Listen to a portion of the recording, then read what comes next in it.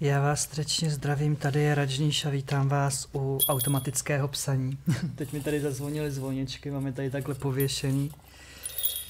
Tak možná jsme si to potřebovali očistit od nějakých strachů. Já zvonečky používám k tomu, abych očistil i situace od nižších vibrací, tak možná to bylo potřeba. No a já si teď eh, už budu vstupovat do svého nitra, do svého ticha a nechám tady vypisovat uh, vzkaz a uvidíme, mm, co nám tady uh, vlastně přijde. Hmm.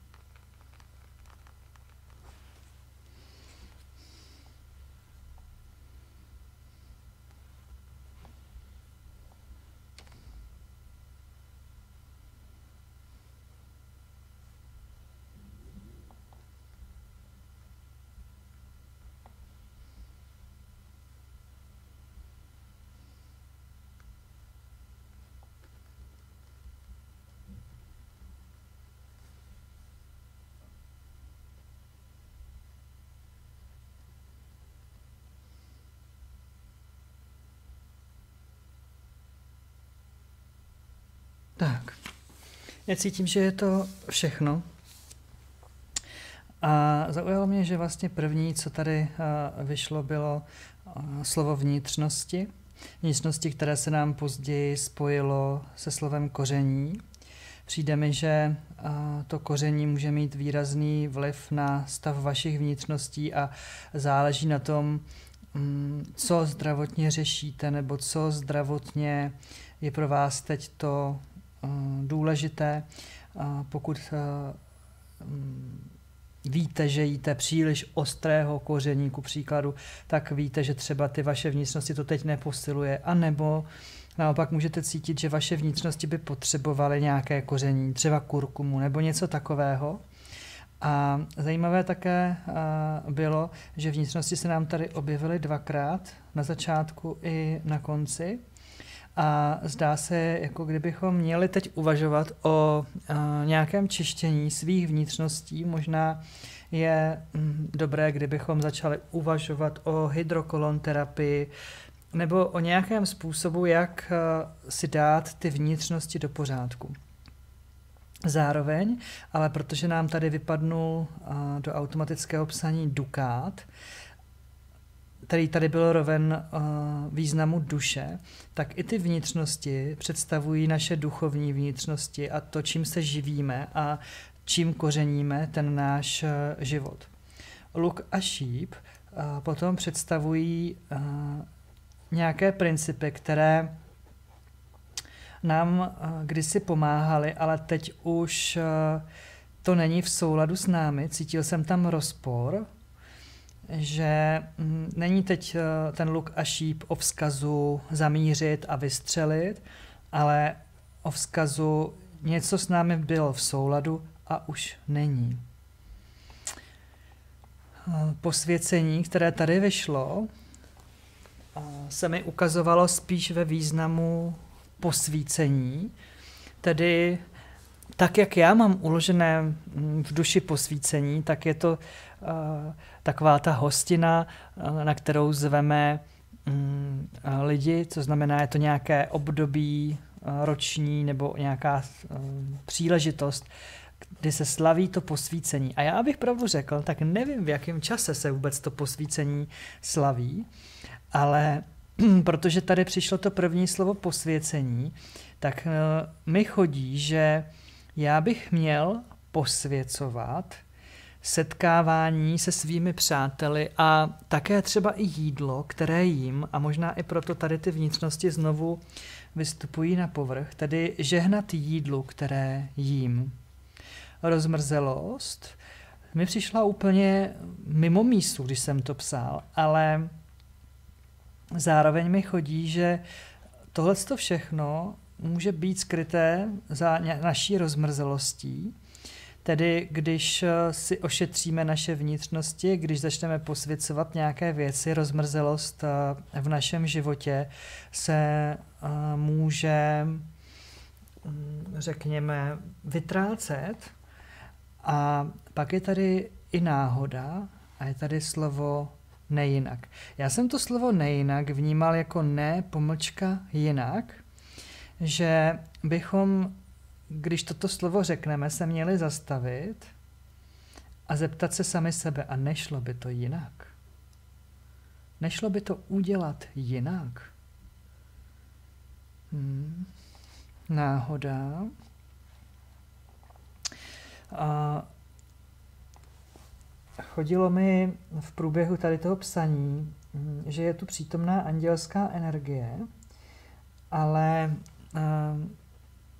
ta náhoda, která tady je, není věcí nějaké synchronicity nebo mm, nějakého andělského působení. Náhoda může také být něco, co způsobuje vaše problémy či potíže. A, že často pátráme po příčinách, ale některé věci se dějí nahodile. Proč já? Hm? Náhoda na tebe padla. Jako uh, skoro mi přijde, že to je potřeba přijmout tak, jak to je, bez ohledu na to, co si o tom já myslím. Jo, bolí mě bříško, jo, mám s tím problémy dlouho, jo, řeším to už rok, Náhoda byla, že jsem před rokem dostal chřipku, náhoda byla, že se rozjelo z toho tohle. Aby tam pořád nebylo nějaké hledání, hledání, hledání, hledání prapříčin, ale také smíření s tím, jak ty věci jsou, protože to člověku pomůže jít tím uh, onemocněním, možná mohu říkat onemocnění, když se tady jedná o vnitřnosti, uh, tak nějak víc s pokorou a s trpělivostí. Že pak člověk nebude mít ten pres to řešit hned, honem, rychle, teď, aby to bylo. A to posvěcení mi pak chodí i jako léčivá energie pro moji duši. Zajímavé je u toho dukátu, že tak jak se vztahujeme k penězím, může ukazovat na to, jak se vztahujeme ke své duši. Popíráme-li peníze, popíráme-li, popíráme-li význam peněz, popíráme i svoji duši. Dukát jako duše. Hmm. Jo. Tak. Tady přemýšlím, co bych vytáhl a za kartičku k tomu. Chodíme netradičně vytáhnout kartu poselství květin.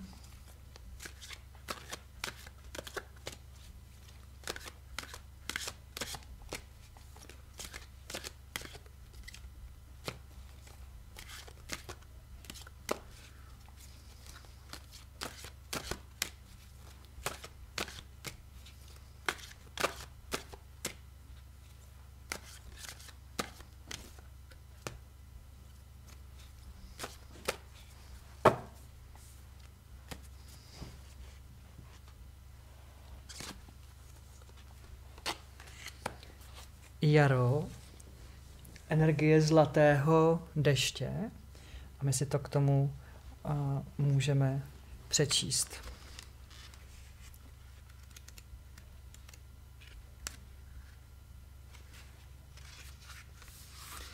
Najít svůj životní úkol, zaujmout své místo, žít svůj vlastní životní příběh.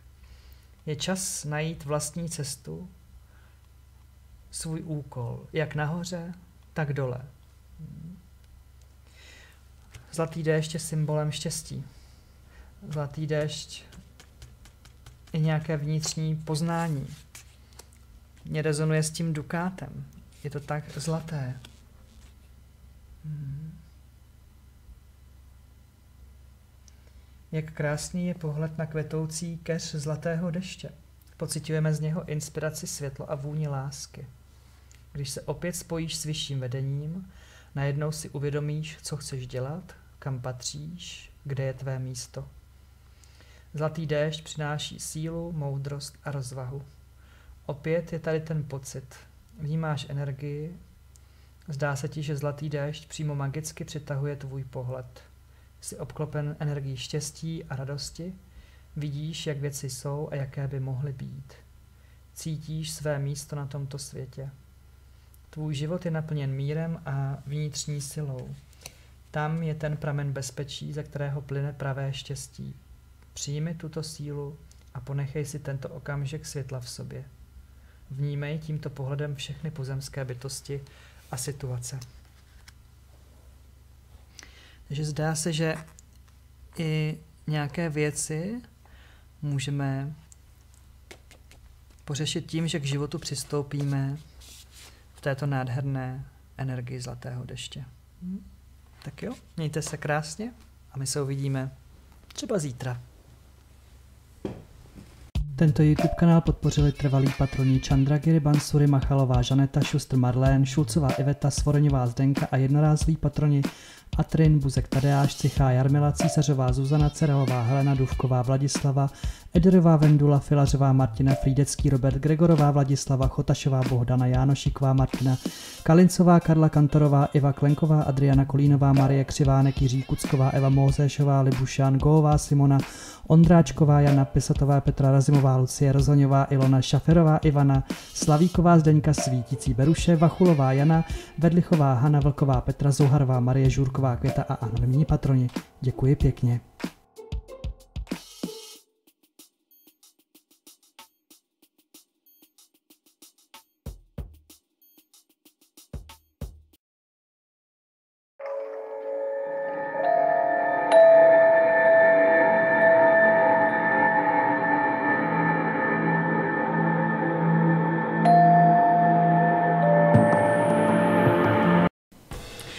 Jsem se zaregistrovala na jeho webových stránkách, jo.